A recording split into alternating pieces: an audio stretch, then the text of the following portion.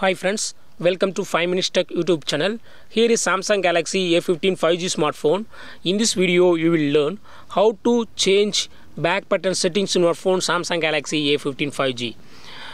Uh, here you will see back button on the bottom right side here. Okay, this is back button.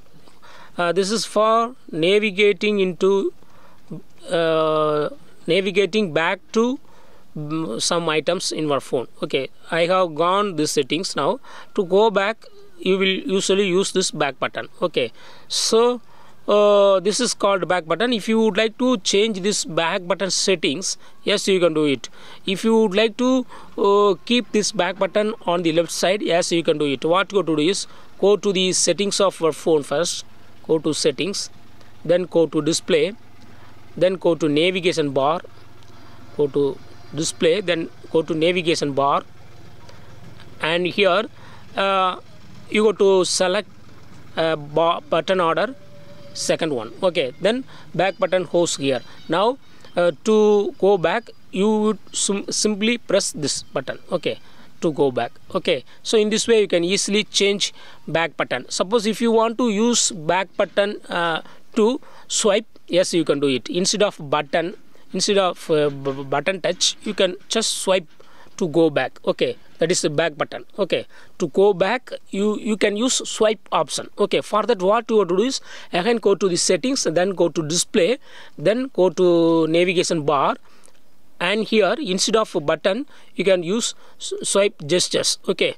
In swipe gestures you have two options. One is swipe from the bottom other is swipe from the sides okay? If you have selected swipe from the bottom you can use uh, swipe up here and it will go back.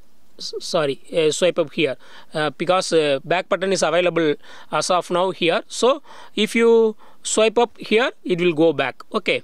Uh, suppose if you want to uh, use swipe side. Yes you can do it. Uh, again go to navigation bar and click on more options here and swipe from the sides. Okay so here you can use swipe here to go back. Okay swipe here here. So uh, either side if, if you swipe from the edge to the middle uh, then it will go back. So in this way you can do back button settings. If you really need a uh, soft button button type then uh, you have to you have to keep the first option buttons. Okay and button order is uh, first one this is default one. Okay in this way you can easily uh, easily fix any desired back pattern in your phone samsung galaxy a15 5g that's all friends. Thanks for watching. Bye